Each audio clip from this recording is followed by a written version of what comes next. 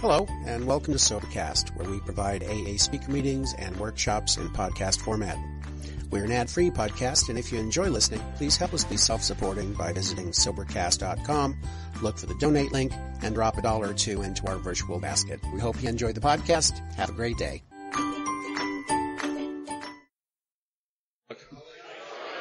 Welcome to the Vision for You group of Union. We meet here every Thursday night, and we don't usually meet here we meet up in the front, but there's a, another equally important event taking place tonight.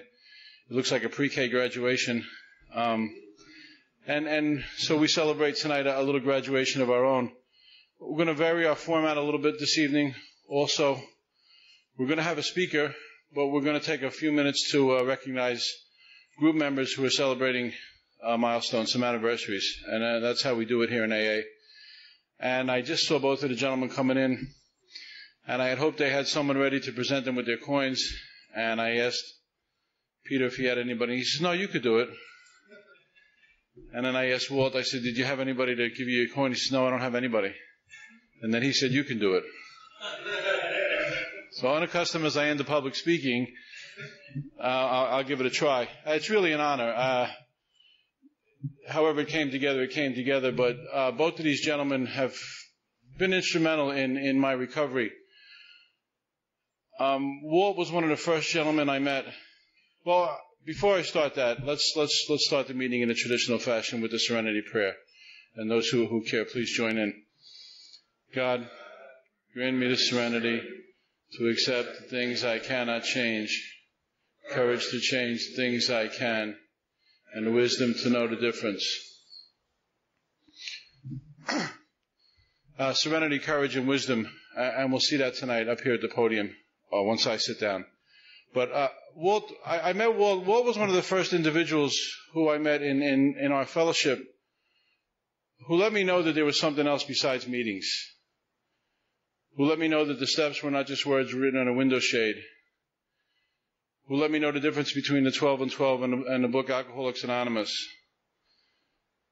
Who told me through his words and through his actions about this program of action that was associated with the 12 step as they were written in that book, Alcoholics Anonymous.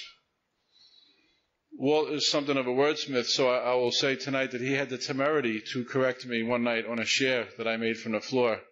Pulled me aside after a meeting. It was an afternoon actually, and pulled me aside. And I didn't like that. I didn't take it too kindly. I mean, it was a share for goodness sake, you know. I just, but he had a point in mind. And he had a seriousness in mind also about that point. And that seriousness stayed with me long after the point was made. Uh, he was dead serious about those words that are contained in our first 164 pages. And if I'm sharing from the floor, or if I'm speaking from the podium, or if I'm writing a book, I need to be as precise and definite as he is about these words. And although I certainly was able to move on past that initial resentment, um, it just showed me the seriousness of the, of the, fellow. And our paths would cross from time to time. And from him, indirectly, I was led up to Berkeley Heights where I began to experience a solution. I began to experience some freedom from my alcoholism. And I, am grateful to him for that, and I want to thank him for that. And we, he's always been a part of, of what we've done, and we came together with the notion to to put together a group in union that might be a little different than our average AA meeting. If we were really, really happy and enthralled with the meetings we were going to, we would have never had that conversation. But we did, and, and the conversation that ensued took in a lot of people in a lot of forms, and what we ended up with was a vision for you, literally and figuratively. And what we do is we come together here every Thursday night, and we share our particular message of experience, strength, and hope that working the steps out of the big book, you can achieve freedom. And ironclad guarantees are made either in the driveway or from the podium or uh, immediately after the meeting. And conditions met, conditions followed, and people get free. And to be a part of that is something that I surely would not have wanted to miss. And my friendship and association with Walt is, is very important to me. And I, you know, I love both these guys. I love Bart too. I love everybody here tonight, but I, I, I love I love both these guys, and um, the word friend is probably the best appellation I could give Walt. And right now, he's celebrating 15 years as Walter M.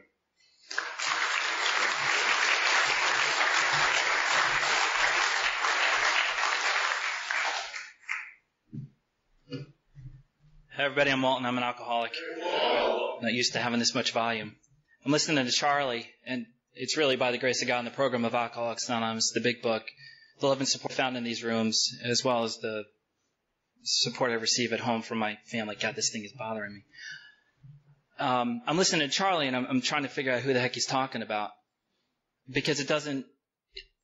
It doesn't sometimes feel like that's how I reflect, but and I think that's because hopefully I've tried to be a little free from me and to let the power of God flow through me at certain times. And I have no idea that encounter he's talking about. I don't ever remember it. Just going to show that it's just that much more easier to give a resentment than to get one, I guess. I don't know. But you know, as I look back past the uh, the last decade and a half, and it feels weird to say that, but you know, 15 years, where did it go and what happened and, and what have I done and what's the quality of my life been and what have I done with that time? It's not necessarily the accumulation of, of minutes, hours, days, weeks, months, years. It's what I'm doing moment to moment with the, the time I'm given, the time I'm, I'm allotted. Quite frankly, I feel I'm living on borrowed time. And I have to give back to the society in, so many ways that I can't even count. Immeasurable ways. I, I always feel that I'm drawing on the, the debit side of the ledger. So when I have an opportunity to pass on what's been given to me, I try to take advantage of it, capitalize on it, maximize it, whatever you want to call it.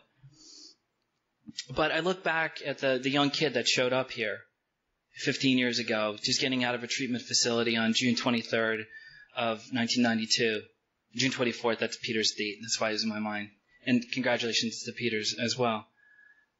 And, you know, wandering out and thinking of the old Groucho Marx line, you know, do I really want to be associated with people, you know, like me? Really, do I want to be part of an association that would have me? And, you know, I've, I've wondered that from time to time, but I know I have no other opportunity. I have no other option than to be here. This is the last stop. This is my last hope for salvation, for redemption, for transformation, to become something usefully whole. To find that spiritual center that I always, I always was wandering looking for through other means and methods in life. Is that my time? Do I have to stop now? Um, and I always feel awkward celebrating because this is something I can't claim. It's not mine to, to stake. It's something I've been given. It's that last gasp that, that God injected me with to say, here's your two options. Death and drinking or sobriety and, and spirituality. That's the only two options that I can live between. It's not whether or not I drink. It's what I'm doing with the moments I got and trying to grow closer to this power that for some reason allowed me to be here for as long as I have. And I don't think it's a very long time, quite frankly. Because there's a lot more work I gotta do. And if I think I'm done, then I'm, I'm doomed. You know, it, it's just amazing because the only thing that's kept me going from time to time has been the fellowship and then when I found that the spiritual program of action is outlined in the basic text, I mean, my life took off. And for a little while, I wondered, was it really worth the time that I accumulated? And regardless of what happened or didn't happen, I have to say yes. Because I met so many wonderful people along this journey. I've made so many great friendships that have come and gone, and that's okay because life is, is constant momentum. I'm not here to make friends, and, and I, that sounds a lot more callous than I mean it. But I'm here to save my life. And, you know, at whatever cost. And it's not to, to directly offend and it's not meant to hurt and it's not meant to harm. But, you know, if I wanted to make friends, I'd join a volleyball club. I'd do something. I'd take a, an adult course. I, there's lots of other ways for me to, to make friends. My only aim and option, and my only aim and hope here is to just find that spiritual center hold on to it for dear life and continue going. And with that, I'm just going to shut up and take this thing and shove it down my throat if I feel like drinking. And I'll turn it back over to Charlie. Thanks.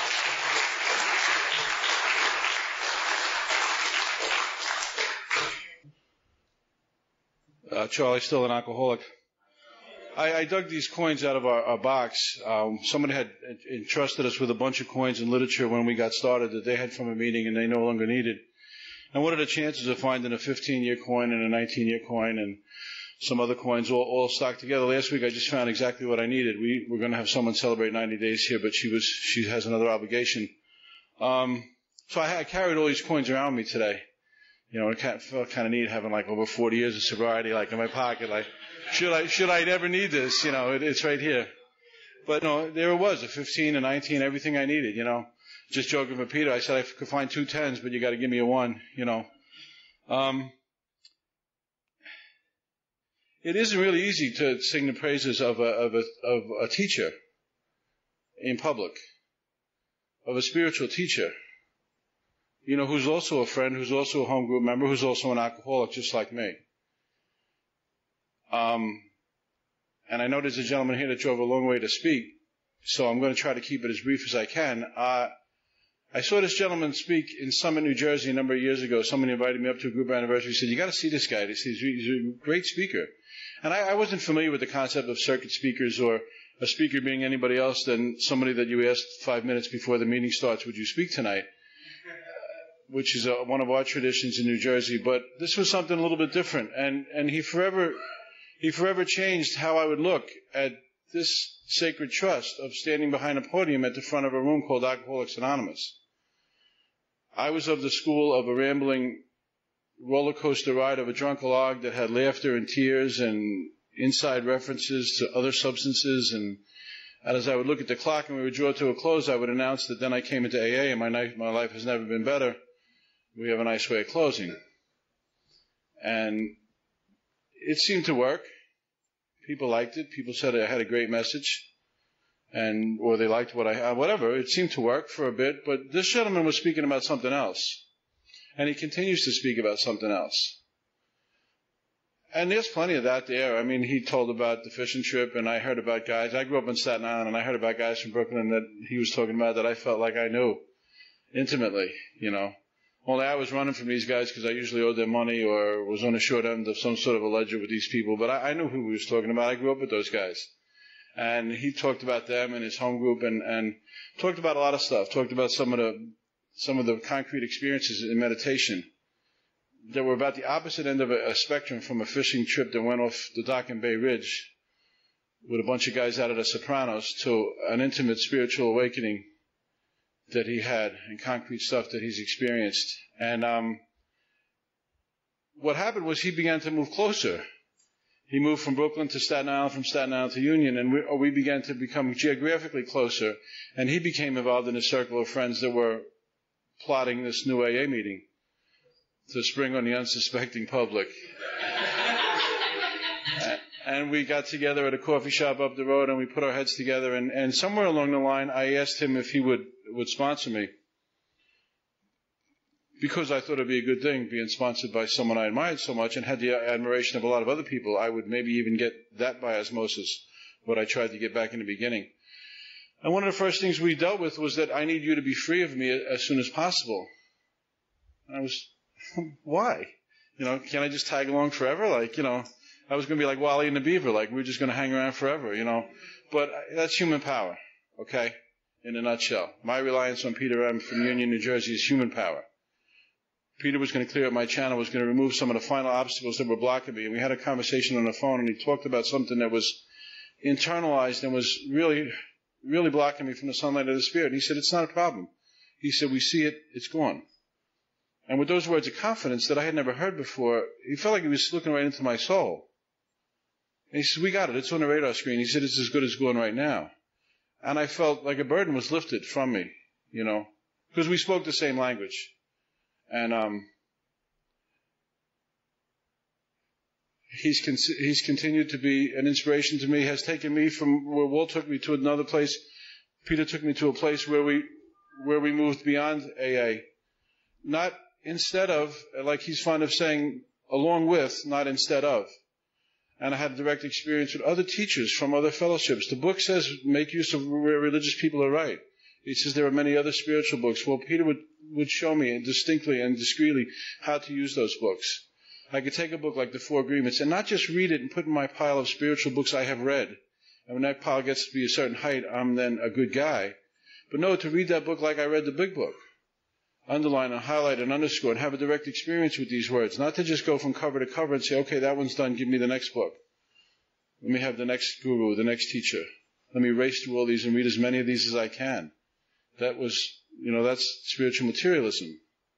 That's not the sunlight of the spirit. And he directed me away from that to have an experience with this as I had experience with our first 164 pages. And we did some neat stuff with inventory and current agnosticism and current unmanageability, not unmanageability from then, from days gone by, but what was it looking like right now, right here? And I started to squirm a little bit. And expectations for me were not being met. I thought this was going to be a joyride with the, you know, with, with Peter M. from Union, New Jersey. But it was a joyride. You know, and it, it was. And I, you know, I, I, I don't know what to say. I really, I can't say enough about either of these two gentlemen, but right now to join us at the podium and celebrate 19 years is Peter M. from Union, New Jersey.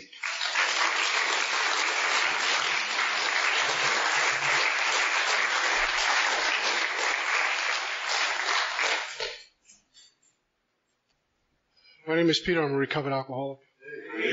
Grateful to be alive and sober and at a sacred place called Alcoholics Anonymous. And uh, first things first, thank my home group for allowing me to celebrate. Uh, I'm grateful to be a member of the Vision for You group, and like Charlie said, we started at a place called Van Gogh's Ear, which was kind of like an ominous setting, Van Gogh's Ear, and we're trying to start something spiritual. Um, uh, but here we are, um, few years later and celebrating, and I'm very, very grateful to be alive and sober and part of this sacred uh, place called Alcoholics Anonymous.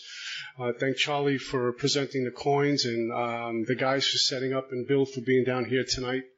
Um, Bart and his friends for driving so far uh, uh, to get here. Um, we're going to hear a great talk tonight. I have friends here from different parts of Jersey. We have friends here from uh, Long Island, Queens. We have friends here from Staten Island. It's like the heads of the five families have gotten together tonight, and uh, we're going to divvy up the neighborhood. Um, before we get going, it's really important. There is so many folks in this group, so many teachers along the way. My sponsor, Mark H., my dad and my kid brothers. If it wasn't for the courage, strength, and direction that God gave them, I would not be here tonight celebrating. There's so many people along the path who have allowed me to get here tonight, orchestrated by a loving God. And a few years ago, I met someone who's been uh, uh, uh, the apple of my eye, just absolute wonderful uh, uh, experience who allows me to go out and do the workshops you guys asked me to do and allows me to go out and travel and allows me to be here um, and has held me up a few times when I didn't think I'd have the courage to stand up. And if Linda would just stand up for a moment so everyone can see who you are. And, um, so, yeah.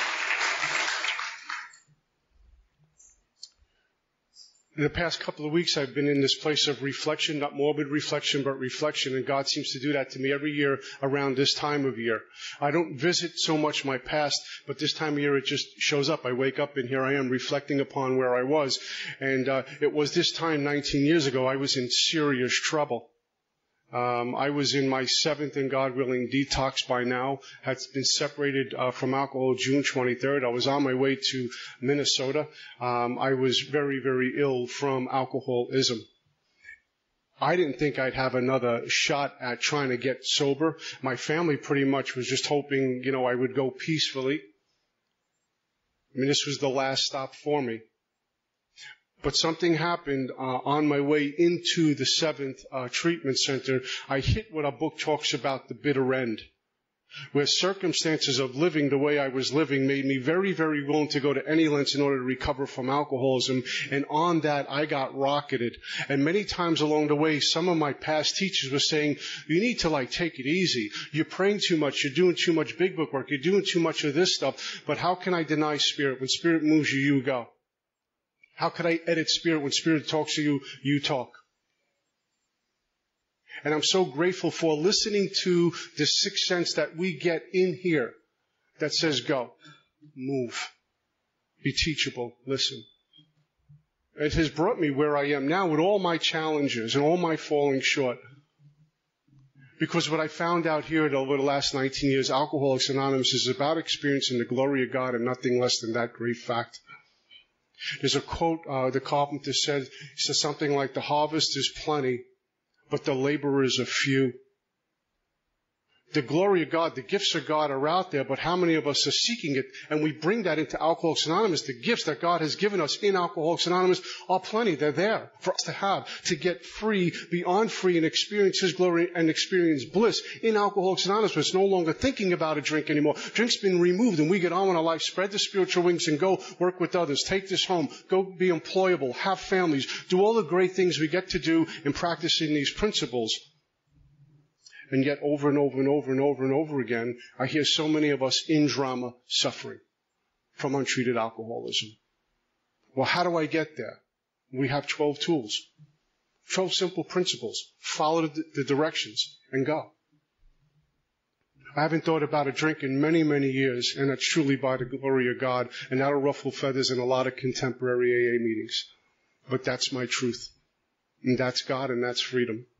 So I feel blessed to be a, a, recovered member of this sacred place called Alcoholics Anonymous. And if you haven't found out that it is sacred yet, I pray you do because it is. Because we see people get reborn and resurrected in Alcoholics Anonymous. Come in here with nothing broken and then arise. And then we walk and go work with others. What a good deal. What a good deal. I met our, our speaker a handful of years ago. He's become a, a dear friend to me. Uh, does a, is the guy responsible for fellowship with the Spirit in Queens, New York every year. Has dedicated his life to Alcoholics Anonymous. And so we're in for a treat uh, uh, to hear tonight uh, from the primary purpose group in Long Island, New York, Bart R.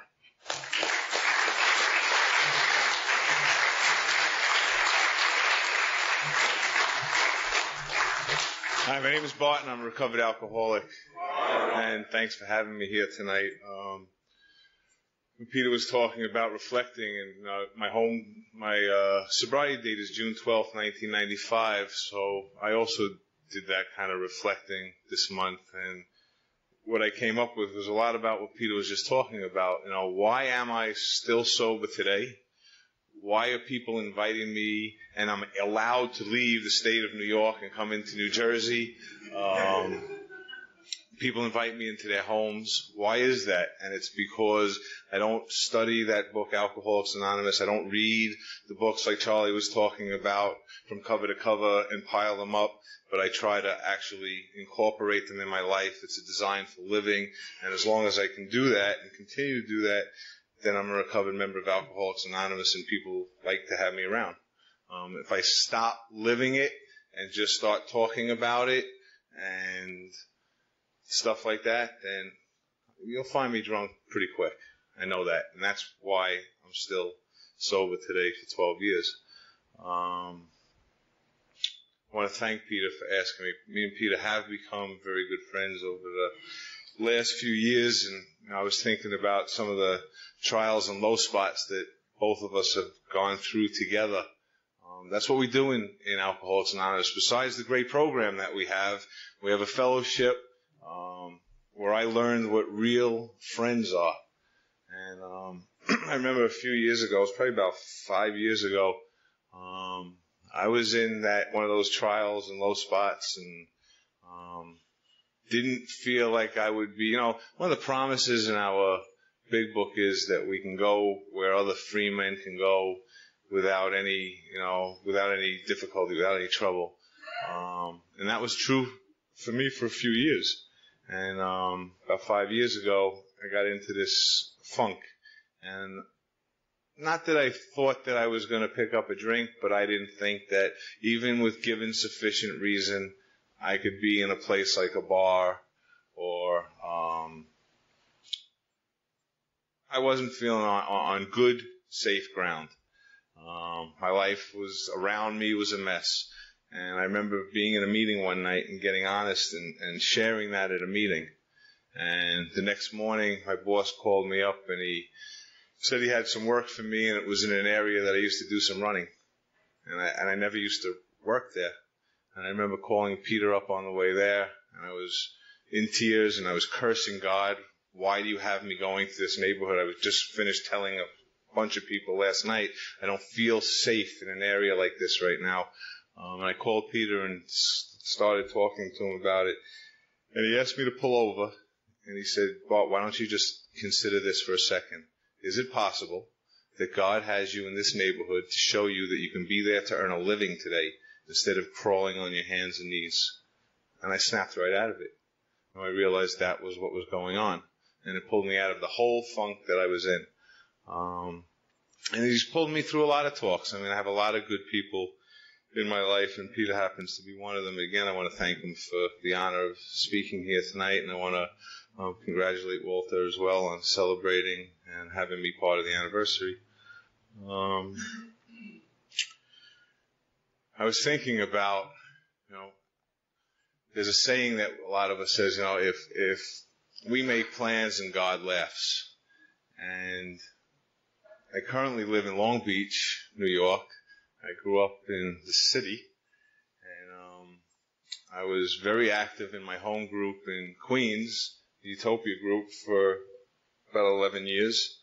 Um, in the last two and a half, three years, I was very active in the Fellowship of Cocaine Anonymous, trying to see what I can give to them as well. And the group in Lynbrook, the primary purpose group, asked me if I would do a big book study for them. And um, I finished one that I was doing in Flushing, Queens, and went out there. And every night they would ask me, you know, why don't you make this your home group and stay out here in Lynbrook? And I told them, nope. It's you know, I like it in Queens, and you know, I've had the same home group for a long time. And uh, then I met Tara, and I ended up getting engaged and living in Long Island. So if you have plans, God laughs. He's always got different plans, and my life is great living in Long Island. Um, a little bit about myself. Whew. Growing up, I guess, like one of those people that, like so many others, and it's not necessarily alcoholism, just not feeling a part of, very shy. probably 10, 11 years old. I'm real bad with dates and ages. Most of my life is a blackout. I mean, I'm sober and, and of right mind for the last 12 years, and I still can't remember like simple things like introducing people or um, what I did an hour ago. But so the dates will certainly be wrong. Um, but I was young and I would look, I grew up in a neighborhood where we had apartment buildings and I would look out the window and I would see the older people drinking on the corner and having a lot of fun, and those were my heroes. I just wanted to be with them, having that fun. Um, before I knew it, that's what I was doing. I was hanging out with them, drinking, and having a lot of fun. Fifth grade, I was going to school and I saw them hanging out in the park instead of going to school and having a lot of fun. And I decided that I was going to hang out with them in the park and drink, and school wasn't so important. Um, so by fifth grade, I was already being left back from school because drinking was more important and more fun, and I was feeling a little bit more a part of than what I was feeling like in school. So they were going to leave me back, and they had a meeting, and my parents were moving and they decided to promote me into the new school where we were moving. So that summer, um, I spent every day riding my bicycle back to the old neighborhood and drinking and meeting nobody in the new neighborhood. Because that was a fear of mine, meeting meeting people. Um, I still don't love it. I'm still not great at it, but um, the first day of school came and I didn't know how I was going to do it. So I had a drink and that soothed the fear of going to sixth grade, the new school for the first time. Um, and I saw in the beginning of school that this was going to be the answer. That if I just drank at school, I'll get through school. Um, used, then I shortly found the other kids that even grew up in that neighborhood that were drinking in school and hiding behind the handball courts and hanging out and drinking at school. So um, that's who I hung out with. And I started to get into a lot of trouble in school. And in midway through that year, there was a woman who came from a school called Project 25. It was an alcohol and drug program.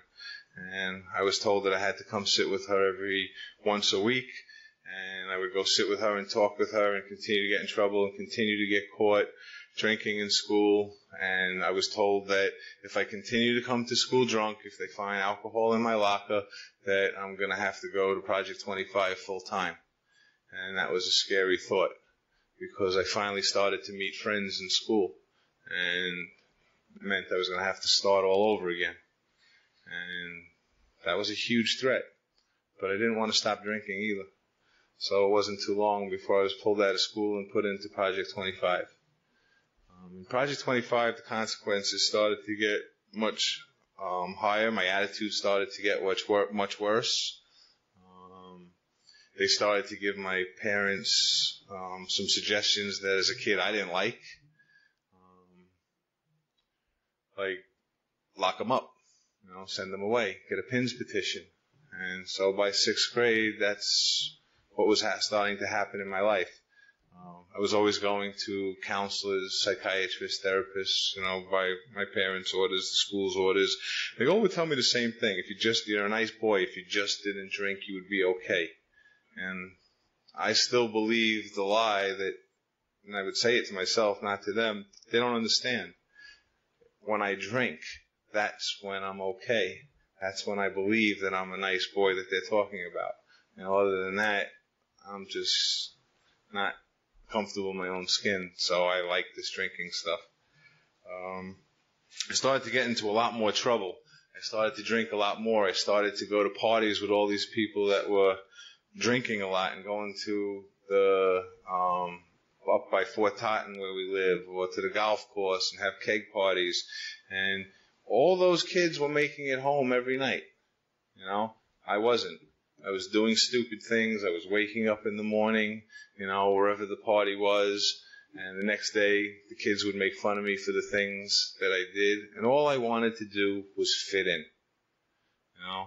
So I would say at the next party, I'm not going to drink like that. I'm not going to do anything stupid. I'm not going to be called the man of the night and, you know, and be told all the idiot things that I did and said or, you know, start fights and wake up with a cracked jaw, even though I might have been one of the biggest kids there. I was so drunk That, you know, somebody would always get a good shot in. I had no idea who it was. Um, things were bad at a young age, and I kept swearing I wasn't going to do that again, and I kept doing that again. Um, my mother was 120 pounds soaking wet. Um, may she rest in peace. Um, she'd beg me. You know, I had a sister that died young, and she would beg me. I already lost a daughter. I don't want to lose another child. Please don't go outside. Please don't leave this house. And like I said, she was 120 pounds soaking wet, a very loving, fragile woman, and I would pick her up and throw her away from the door and disappear for days at a time. Um, she made a beautiful home, and I would sleep in elevator shafts, um, in friends' garages, um, so that I could stay out for days at a time and drink. Drinking was very important to me around 1978, um, after being in a lot of shelters, um, my mother screaming when I'd get arrested, lock him up, he's an animal. My father coming over to me and saying, there's nothing I could do, your mother's got custody. I went to a place for 18 months. Um, actually, it's important that even when I was locked up in some of these short-term places in Brooklyn and shelters and um, any place other than if it was Spofford, which I was in many times, um, I would sneak out of these places to go drink night train, you know, with the bums and sneak back into these places. Uh, finally, I got sent upstate to a place called Hawthorne Cedar Knolls, and that place was I was there for 18 months. And while I was there, I started to reflect that maybe what they're saying is true. Maybe I drink too much, and when I get out of here, I'm not going to drink as much as I've been drinking. Um, so I spent the time up there, and I got in a lot of trouble up there, and I continued to even be able occasionally to sneak off grounds there and break into the deli and bring back beers and get into trouble. And um, but when I left there, I made that promise to myself, and I was going to stick to it. And I went to high school, regular school, for the first time in many years and I showed up for the first day of my school and I was called into the counselor's office and my records were taken out and they said, we've been looking at your records We don't want your trouble in this school. If we begin to see any of it, you're out. And that was day one, getting off to a good start. And uh, I still had an attitude, and I said, you know what? Thanks. And I walked out of his office, and I called my father, which I hadn't really been on great terms with. Um, but I, I, I explained to him in a good way that I ain't gonna make it in this school. You know, it's been a long time since I've been in regular school. They're not really giving me a hell of a good chance. I got a good idea. Why don't you sign me out of school? You're a successful businessman. I'll come work for you. And he said that he would think about it and he would talk to his partner. And um, he got back to me and he said they agreed that that's what they were going to do. Um, so it was a cold October morning, the week of my birthday. And I woke up that morning and I went to the bus stop, really proud that I'm going to be a working man this week and um, going to do the right thing. And it's my birthday. And a friend of mine came over and he gave me a nice little birthday present. He gave me a little bottle of Jack Daniels. And um, I put it in my coat. And I said, you know what? This weekend I'm going to celebrate that I'm making my family proud and I'm proud that I'm working and I'm celebrating my birthday. And um, that was my original thought. And I started to get cold, I guess. So a little sip will warm me up. And then on the bus, I guess I remembered how I got through school when I was nervous. And I was nervous going to work the first day. So I continued to finish that little bottle of Jack Daniels, walk into work for the first day, and completely know how to run the whole business. You can't tell me anything. It made a complete fool of myself and my father. Wasn't my intention when I woke up that morning. My intention was to do the right thing. All the times before that that I drank, I drank because I wanted to drink. I drank because I loved to drink. I drank because drinking was fun. Not that morning. Not that morning. I didn't have a choice that morning. I didn't know it, but I drank against my own free will without even knowing it. That continued for years and years and years, and the stories got a lot worse. And anybody ever wants my phone number and call, we'll talk one on one about a lot of the horror stories, um, the war stories. This isn't the place for them. Um, but I was young then, and trust me, the stories got worse. Um, in 1987, I was hanging out. I was I was married for the first time um, to a detox nurse, ten years older than me. That was going to sober me up. Uh, didn't work. Um, but a friend of mine, there was a house that we hung out at. Three brothers um, owned the house. We all owned motorcycles. They never left the garage. Very few of them ever left the garage. Um, it had some really bad nicknames in the neighborhood. None of the other homeowners or anybody that lived in the neighborhood would walk past that house. They'd cross over the street and around. Um, one of the brothers was showing up with new friends every day and getting on the, his bike and taking off. Started to get curious one night and I said, Hey Warren, how come you ain't hanging out no more? Where you been going? Couldn't live like this anymore and I got sober going to AA meetings. I laughed and said, "Oh, that's nice. You know, take it easy." And I uh, went back to doing what I wanted to do, you know, uh, what everybody else was doing. And uh, every once in a while, I would talk to Warren. And I woke up one morning, and something told me to just call him up and ask him where one of these meetings are. And I did. Warren told me where the meeting was. He said, I can't make it tonight, but the condition you're in, and if you can make it there, they'll know you knew. They'll make you feel comfortable. It worked for me. This is where it is. Just show up. I sweated it out through the day and I got there real early and it was in a school. I was walking around the school and around the school, starting to lose hope and saying, you know, forget it. I'm just going to go drink. And the guy came over and he grabbed me and he said, you looking for the AA meeting? And I went, um, yeah, I am. And he said, come with me, I'm setting it up. So I followed him into the meeting and they sat down in one of the chairs. It was in a classroom and he started putting all the stuff up and hanging up the shades and being real busy. And I was sitting there watching him and he came over to me and he handed me a little blue card and he said, you want to read this? And I said, sure. And now I had something to look at. I didn't have to watch as the room was filling up. I didn't have to look anybody in the eye, and I just kept sitting there and pretending to read this card. And he opened up the meeting, and he said, and to read the preamble, we have Bart. And my heart jumped right out of my toes. I said, if this is what AA is about, it's not for me. And I spent the next, what felt like three hours, what was probably three minutes, trying to figure out how am I getting out of here with nobody noticing. Because I didn't realize he wanted me to read it out loud. I thought he just wanted me to read it, and I was scared to death. Um, so I got out of the meeting and I got lost in the school. I thought I was going to be arrested for trespassing. I certainly didn't look as clean as the rest of the people in the meeting. Um, but I found my way back to where the room that the meeting was in.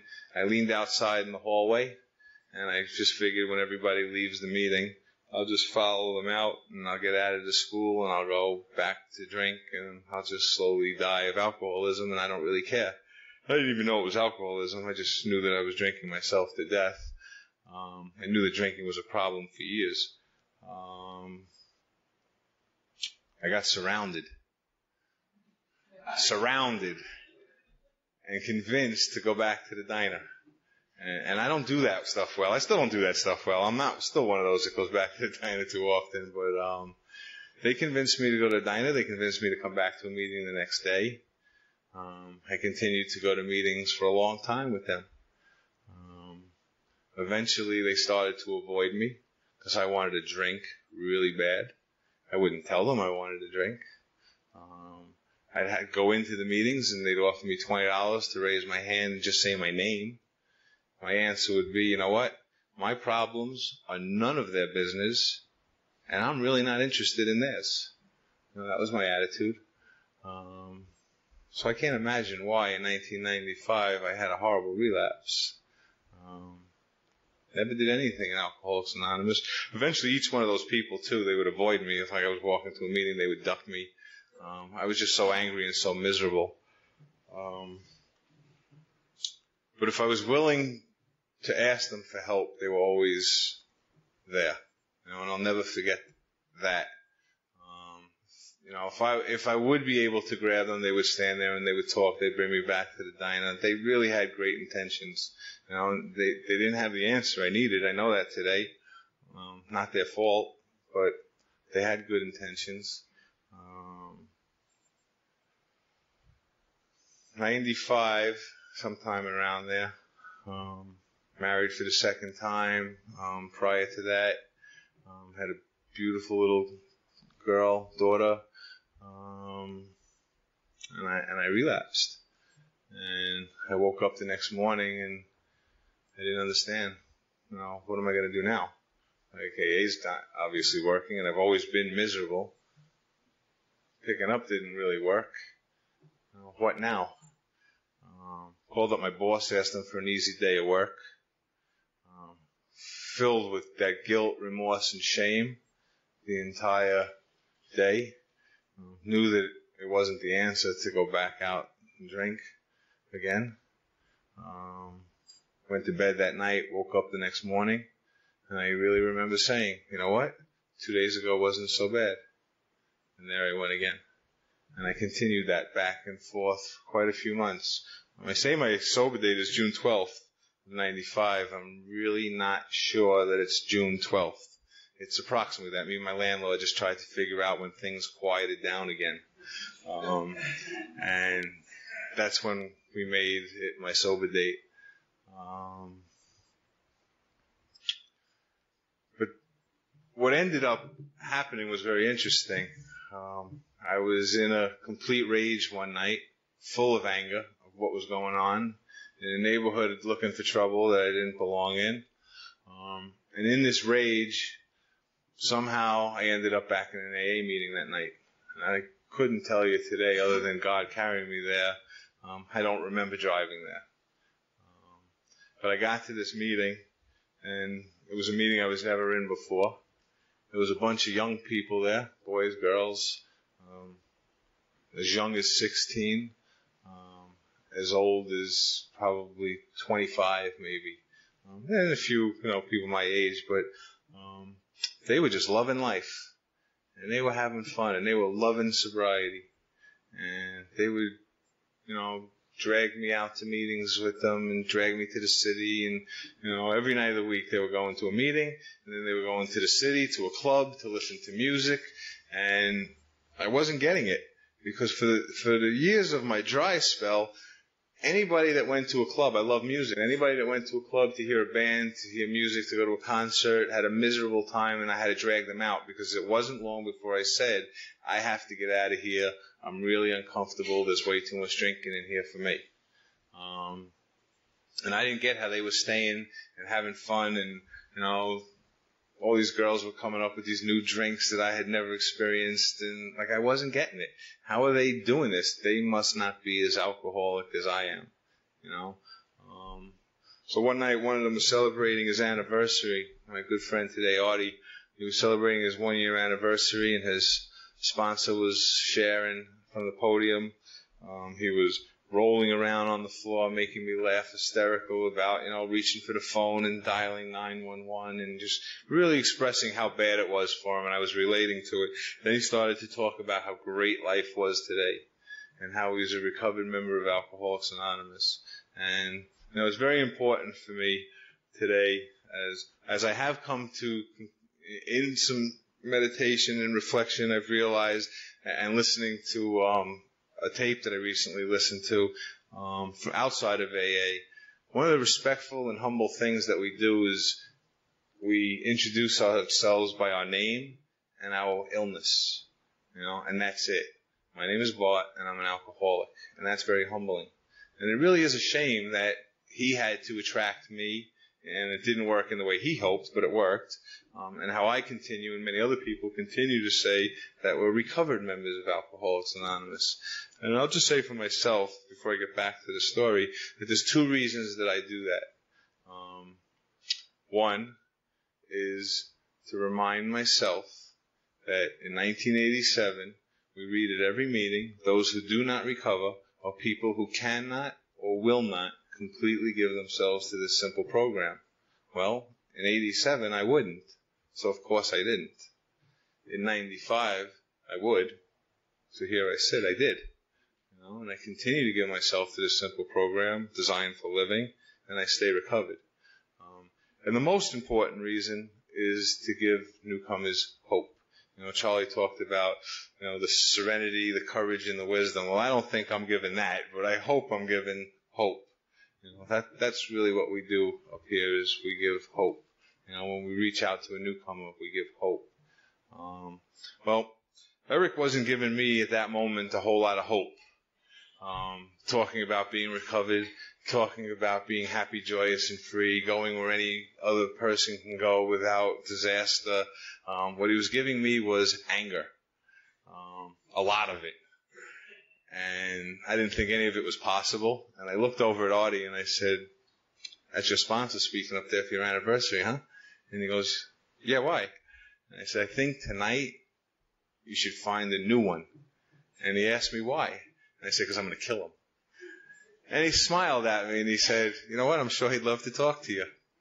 So he talked to his sponsor that night and um, they set up for me to go. He he had his own store not too far away in the neighborhood, so I went set up for me to go to the store. And I was really going there because I was convinced that he was going to piss me off more and I was going to kill him, and that I was going to be justified for it because he was messing with my life and a lot of other people's lives. So therefore, I really had a good reason to do it. Um, and every time I got close to him, he backed away. But he kept for about two hours talking about himself and describing his alcoholism and the things that he did and humorous stories and horrible stories. And he did this for about two hours. And I finally said to him, What do I have to do to get what you got today? And I don't know if I worded it exactly like that, but I know he looked at me, he stepped towards me, and he went, I'm glad you finally asked. And then he said, just read the first 164 pages of the book Alcoholics Anonymous, the big book. Do exactly what it says, and you'll have what I have. And I went, well, see you later. And he said, what's the matter? And I said, I've never read a book in my life. There's no way. And he grabbed me at the shoulder this time. He wasn't scared anymore. He knew he had me. And he said, not so fast. I'll tell you what. I'll read the book to you. The only stupid question is the one you don't ask. When you identify the things, we're going to talk about it. When you don't identify the things, he says, that's because you've never done it, but you'll be willing to practice it for the rest of your life. Sound like a good deal to me. So we met every few days, and that's what we did. We sat down and we experienced that book together. Um, I learned what you people were saying about don't pick up the first one and you won't get drunk. You know, I, I used to hate that because I thought it was just about you can't skip over the first one. I never listened to anything that you people were talking about, so I didn't know anything about the physical allergy. I was around for a long time. I may have heard it in one ear, out the other. It made sense what the doctor was talking about. Man, was I relieved. I know what's wrong with me. And I felt really good. We continued to read that great book, and I started to cry. Um, I started to get really scared. More about alcoholism. There is a solution. The alcoholic mind, not having a choice. I remember, whew, can't remember how many years I woke up, how many mornings, and said, I am not going to drink today, no matter what. I can't drink today. You know, my ex-wife and my daughter are letting me back in their life. I can go visit and take my daughter out to the park, go to the movies or something, and showed up and fell on the lawn with the truck practically driven up on the lawn, you know. Um, can't play back those old tapes. They didn't work. It was scary, but it was true. I had that alcoholic mind. I was of the hopeless variety. You know, I, I had some dry time for a little while, but I had no reason to pick up the night I did, and I did. Um, I had all the reasons in the world not to, and I did anyway. Um, so that was enough to scare me. Um, I grew up in a family of mixed religion. Religion was never talked about. Um, God was never mentioned. Um, so when we got up to this, you know, there either is a God or there isn't. Well, I was convinced enough that he believed, that all these young people believed, um, that something is doing all of this, you know, this whole world. so I said, God is. That is my choice. Um, and then I proceeded to make the most important decision that any of us can ever make in Alcoholics Anonymous or in life in general, in, in my opinion. And that's to turn my will and my life over to the care of God as I didn't understand them, but that was fine to start. Um, and that if it worked, if this God really changed my life, transformed my thinking, did all of these promises that, that this taking this step says it's going to do, um, or making this decision and proceeding on really is going to do, I will absolutely bear witness to anybody that wants to listen. And in the beginning, even if you didn't want to listen, but I got better at that.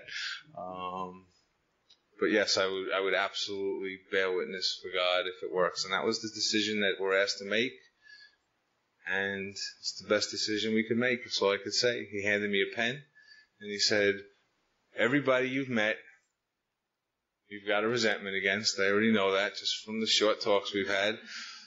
So don't think about anything other than everybody you've ever met, and write down their names. Every place you've ever been, you might as well write them too." And every rule that you've ever been told to follow, you might as well add them to it too. And he was right, and that's what I did.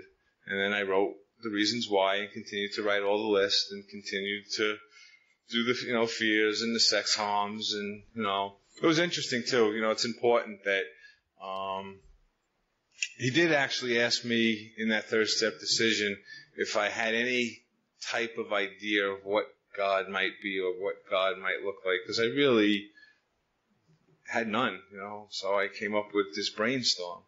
And I said, yeah, God is love. And he started cracking up. And I said, well, why is that funny? And he said, well, let's look at your life right now. You've got a, you're 30 years old. You've got a 20 year old little Brazilian girlfriend, a wife. That doesn't sound like a good love. Is that really what you want God to be like? Nope.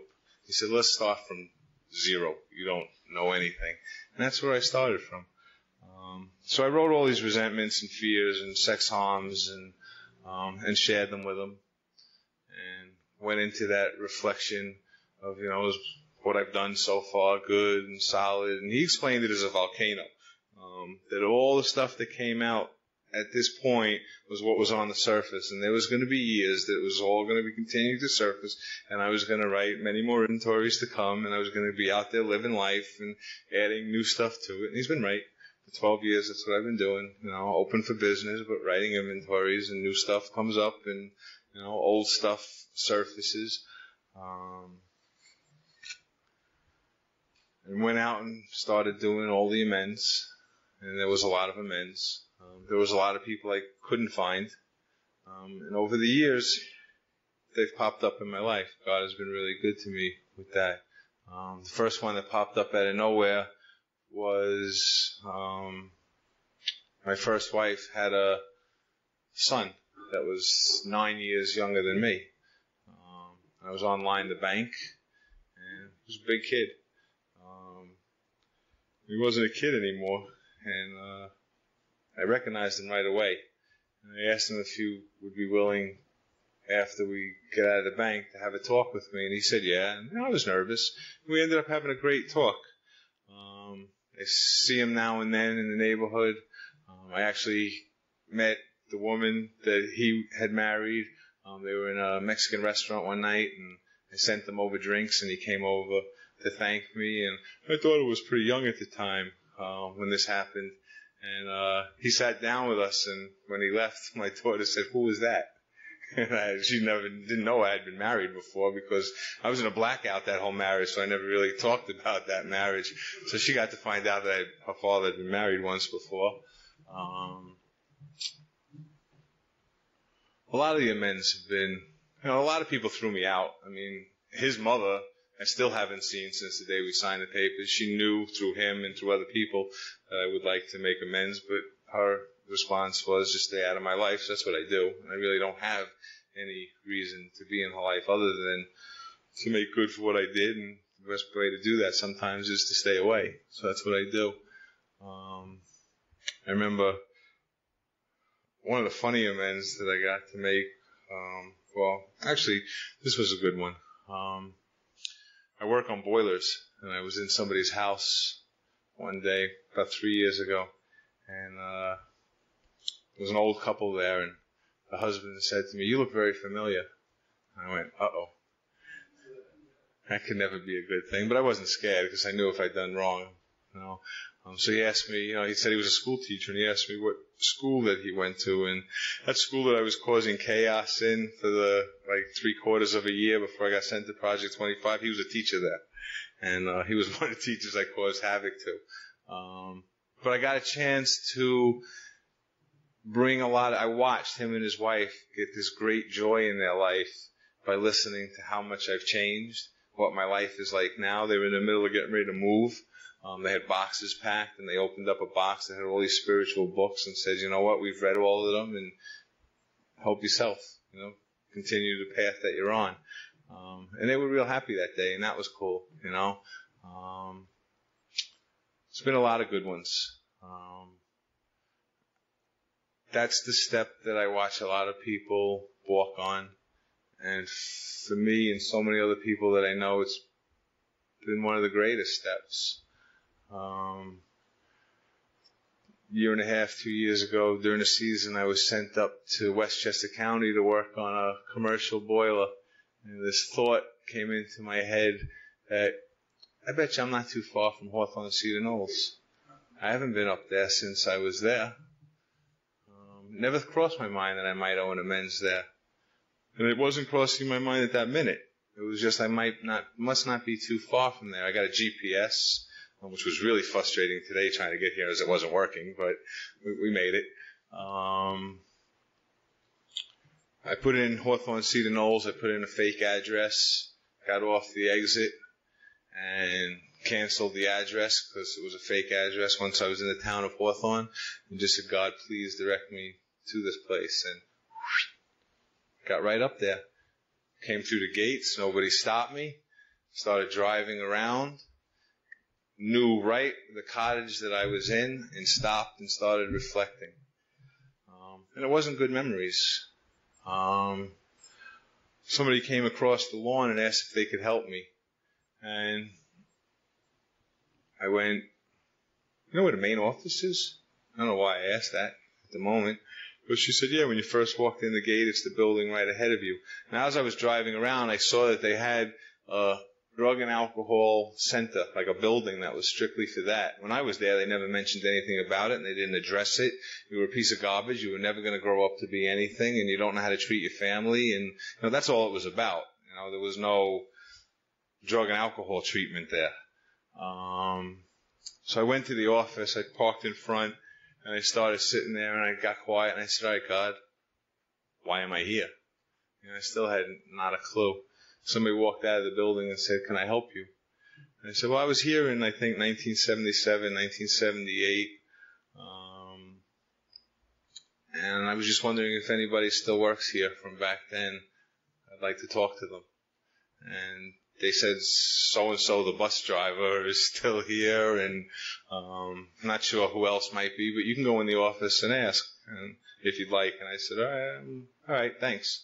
And they left, and I thought about it, and I went into the office, and I went through the same story of why I was there, and um, but I started to continue that I made some harms up here in some people's lives and jobs difficult, and I wanted an opportunity to talk to them. Um, and they said that nobody was there but the new director. If I want to talk to him, I could. And my first answer is obvious. No thanks, but thanks anyway. And I started to walk out and I had one foot out the door and I just had that, heard that voice. Yes, you do. And I, and I, and and I turned around and I said, you know what? Yeah, I would like to talk to him. So I went in there and, and, you know, he welcomed me, shook my hand, and we sat down and, you know, I started to talk to him about how great it was that I thought, saw, saw that he addresses alcoholism and drug addiction with the young kids today, and that when I was there it did, and he started to tell me when they made those changes, and it was a great conversation. Um, as I was leaving, he said that they were celebrating, and right now I don't remember, I think it was 75 years that summer um, of being up there. And that if I wanted an opportunity to come and be an inspirational speaker to the kids, that he would love to have me. And that made me feel great. Um, still makes me feel great, but he never called again. So I didn't get an opportunity to do it. But I have his card and I'm going to call again um, and see if I can still be of service to them. Because um, I know there was a reason that I was brought up there. Um, nobody else was there. They, they said they would check for my records to see if they can get in touch, help me to get in touch with the people were there, and my records were burned because it was X amount of years after they burned them. Um, anyway, as I started doing, you know, that amends earlier on, I was doing, practicing 10, 11. Um, it was difficult in the beginning. Um, sometimes it still is. Sometimes um, I do things more than others. I'm a seeker. Um, I love God. God is the most important thing to me in my life today. Um, I wouldn't have the life, none of us would have the life we have today. God is in the center of everything and every relationship that I have. Um, that's why I have good relationships. Um, I very rarely get angry. I was a person who used to have short fuse. Ten step is a great thing. Pause when agitated and doubtful ask God for the right thought of direction. If I don't do that, it can get ugly. Uh, a couple weeks ago, we went up, me, Tara, my daughter, and Tara's daughter went up to uh, New Paltz for Tara's birthday, and it took us I don't know an hour and 15 minutes, an hour and a half to get up there, and almost five hours to get home. Um, handled the the traffic coming home pretty good. On the way home, I figured I'd pick up the van for work the next morning, um, when I got to the van, because we live in Long Beach and work is in Queens, and it's a long trip, and it makes sense to just, you know, take it home the night before and leave my car there. There was no keys in the van. Five hours of driving home. Now I got to get up at four in the morning instead of five in the morning. I'm not very happy. So I called up my boss and I walked away from our car because I didn't want everybody to hear the conversation and I freaked. And, uh, when I got back in the car, I, Tara had said to me quietly, uh, that her daughter said that she's never heard me say anything more than the word shit. And she was a little shocked. And my daughter said, yeah, it's been a lot of years since I've seen my father get that angry. You know? And that's because of practicing our 10 step. You know, I have a great relationship with my daughter today because I practiced the 10 step. She's a kid. She does things wrong. I don't lose my cool and get anywhere. You know, um, 11 step has been a great experience. Um, 12, you know, I practiced the first 11 steps so that we're capable of doing the 12th step. Had about three months sober. Eric, my sponsor, um, came to that home group, which he hadn't been back to since Artie's anniversary, and he came with us that night, and this huge young kid with no teeth, tattooed, angry, starts sharing how he hates all of us. He, the, he was in, there was a rehab that came into our home group, and he was with the rehab, and um, he was just full of anger, and he hates all of us, and he doesn't want to be here, and just full of rage. And Eric turned around to me and he said, after the meeting's over, I want you to go over to that guy and win the confidence of him and see if you could sponsor him and show him what I just showed you. I said, are you nuts? and, and, and it wasn't because he was big and it wasn't because he was angry and it was, what do I got to give? You know, and this guy doesn't want it anyway. It's pretty clear. And he opened up to a vision for you. You're just one man who with this book in your hand and you just tapped into a power greater than yourself. You know what? The book hasn't been wrong yet. So I'm going to believe this. And you know what? I went up to that kid and I got to talk to him for a little while and he continued to come every week and we continued to talk a little more and before I knew it I was able to take him through the steps and watch him recover. You know? And um actually we got really close and I remember he had, you know, his um he had a little boy and he was a single father. And um, he had said that if anything ever happened to him, he wanted me to adopt his son. Um, and I made him a deal I would unless it was that you picked up. You know, if you pick up, if you, if you do something to him because of that, then not a chance. Um, but he also lived with his mother and kid was well taken care of. He stayed sober for three years and he helped a tremendous amount of people and a lot of them are still around today. Um, he struggles to get back and do what we do. Um, I don't know what he's doing right now. Um, I heard he moved back to Pennsylvania, and I, and I hope that he's doing exactly what I'm doing tonight, giving people hope. That's all I can hope for and pray for. Um, and I include him in my prayers. But there are a lot of people who he did help that are still around. Um, so this program works. Um, you know, if you knew, um, get the fellowship that you crave. And I remember Eric, my sponsor, was he was an older man when he first started to sponsor me, and um, he started to get really sick. He had diabetes. He was starting to lose parts of his feet. You know, um, he had kidney dialysis three times a week. He was wheelchair bound, and most of the time he spent in his bed. But he still had people come to his house, and he still read that big book to people who wanted to get better. He continued to carry that message till the day he went into a coma. Um, and he left us. Um, and Don Pritz, you know, another guy who also carried the message to the day he died. Those are the people that I want the passion for carrying the message to give hope. You know, not the people that I looked out my window when I was a kid and said I want to be just like them. Now it's the Erics and the Dons and you know, people like that, all of you that have the passion to carry this message. You know, that's the passion that I have that I never want to lose till the day I die. Um, but I remember Eric, he, he had an ego that was, and we always goofed on. I told him there wasn't a pin in the world big enough to pop his ego, but he used it to win the confidence of other people. You know, he used it for a beneficial fact, and some of them was to just piss people like me off, but he got me. However it was, he got me. It's not the approach I use. I tried it for a long time. It didn't work. I got quiet in meditation and said, you know, because it's important. How can we best get as many people hooked as we can? Um, but there was a new meeting that started, and it was a one-year anniversary. And um, it's something that I'll always remember. They got Eric to come speak for this group anniversary using his ego. It was really his anniversary, but if they if we said that it was for his anniversary, he wouldn't have come. But to speak for a group anniversary and there's going to be a lot of people there, absolutely. Just can you wheel me down the stairs in the wheelchair and I'll be there to speak. So we got him there, and uh, he walked in. He saw a bunch of us and myself and another guy who he had sponsored early on and a newcomer had spoken at the meeting. But before they started the meeting, they said, "Has everybody who's been sponsored by Eric, please stand up. And a bunch of us stood up. And we remained standing. And they said, Does everybody, would everybody that's been sponsored by the people who just stood up, please stand up? And a bunch more people stood up. And they continued to keep doing that until everybody in the room, except for one or two newcomers, was standing. And that's what can happen for every single person that sits in this room.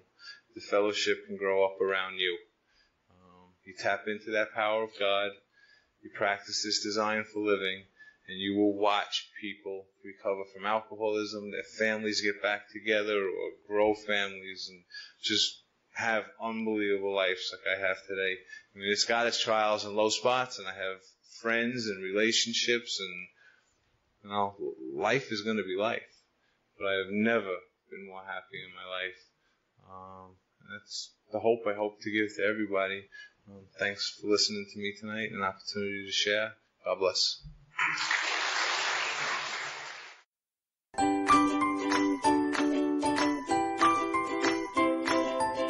Thanks for listening. I hope you enjoyed the podcast. Sobercast is ad free, and we'd like your help in order to keep it that way. So if you'd like to help us be self supporting by pledging a dollar to a month, visit Sobercast.com and look for the donate links. Thank you very much.